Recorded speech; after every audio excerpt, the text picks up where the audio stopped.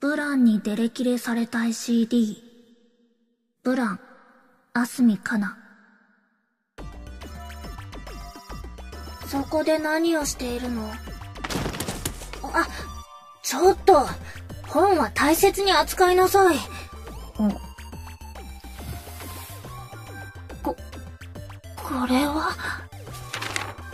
どうやらあなたには自分の立場というものを自覚してもらう必要があるわ。あなたは毎日毎日こんなことばかりしていて、全然成長してないわね。何か私に言うことはあるかしら？謝ってもダメよ。謝ったぐらいで許すと思う。でも、そうね。いい機会だから、今日は話し合いましょう。そこに座って。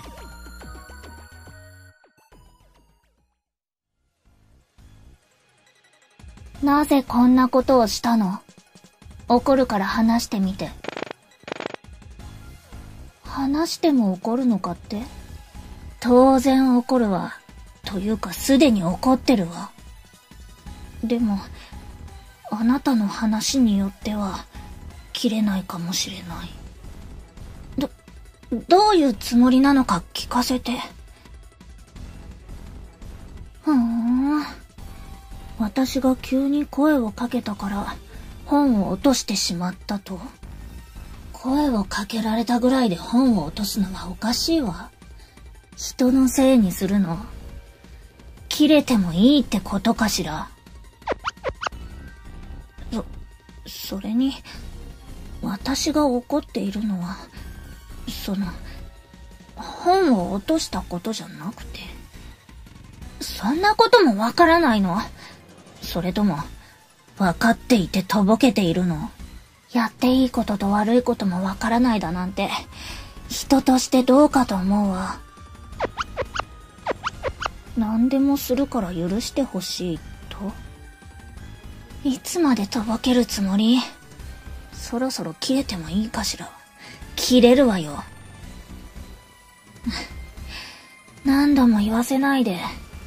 謝ることよりも、なぜこんなことをしたのか、その理由を聞かせてほしいの。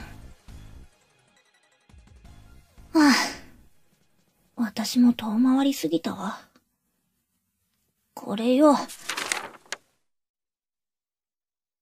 なぜ私の、写真を、あなたが持っていたのか、その理由を聞いているのよ。だから謝っても許さないわ。土下座したくらいで許すと思う。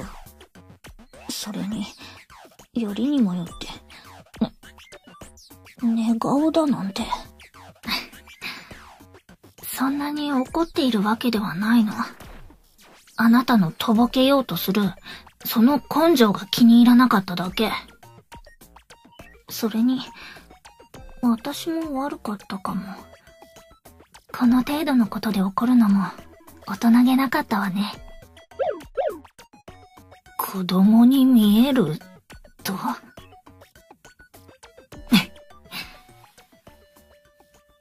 どうやら私をキレさせたいようね。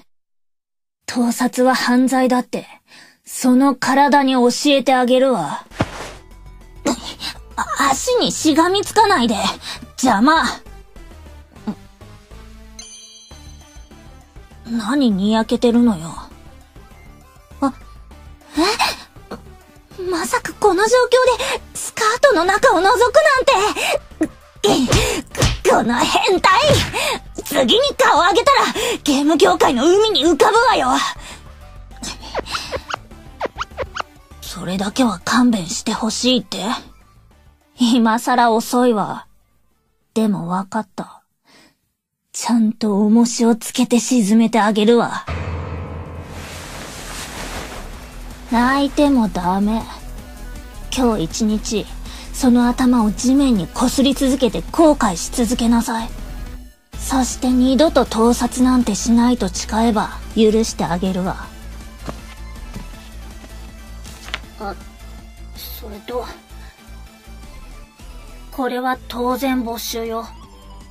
これに懲りたら、私の写真を隠し撮りなんてしないこと。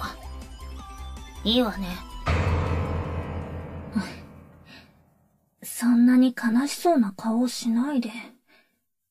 一枚だけなら、一緒に撮ってあげる。